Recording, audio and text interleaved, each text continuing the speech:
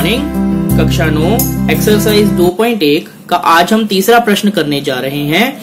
ये है 35 घात के द्विपद का और 100 घात के एक पदी का एक एक उदाहरण दीजिए। बच्चों, मेरे पिछले वीडियो में हमने देखा था कि बहुपद की घात क्या होती है। चर की सबसे बड़ी घात को बहुपद की घात कहते हैं। तो इसी प्रकार से आज हम 35 घात का एक द्विपद बनाएँगे पहले, ठीक है? तो सबसे पहले हम लिखते हैं पैंतीस घात का द्विपद।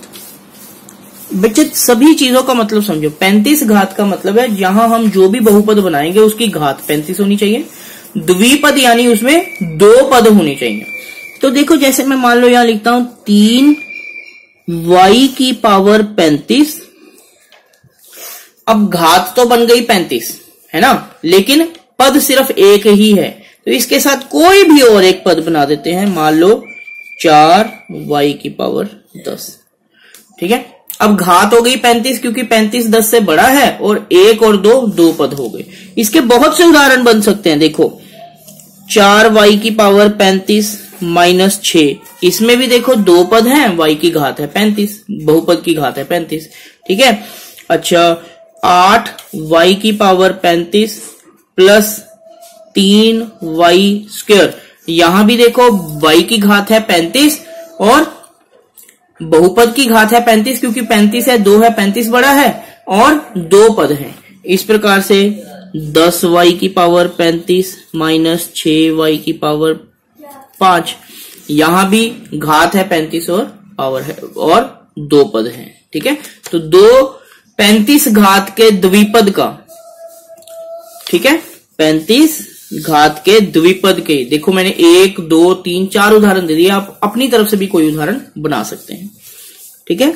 बस ध्यान क्या रखना है कि x या y, यहाँ आपने y लिखा, z भी लिख सकते हैं। देखो थ्री जेड की पावर पैंतीस प्लस पाँच जेड घात है पैंतीस और दो पद है। इस प्रकार से आप कोई भी उदाहरण अपनी तरफ़ से भी बना सकते हैं। अच्छा दूसरा था सौ घात के एक पदी। सौ घात का एक पदी। अब सौ घात का एक पदी का मतलब क्या हुआ? घात सौ होनी चाहिए, लेकिन एक ही पद होना चाहिए। देखो कितने एग्जांपल पाँच वाई की पावर सौ। एक ही पद पावर सौ होनी चाहिए बस। चर की पावर सौ होनी चाहिए। माइनस छत्तीस एक्स की पावर सौ। ठीक है? माइनस पंद्रह जेड की पावर सो ए की पावर सो, बारह बी की पावर सो। सभी में एक पद है। एक पद एक पद एक पद एक पद। एक पद यानी आगे प्लस माइनस कुछ नहीं। और पावर सो, चर की पावर सो होनी चाहिए। तो देखो पैंतीस घात के द्विपद के मैंने आपको चार और पाँच उदाहरण बता दिए।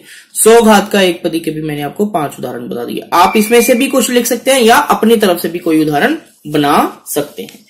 ठीक है बच्चों?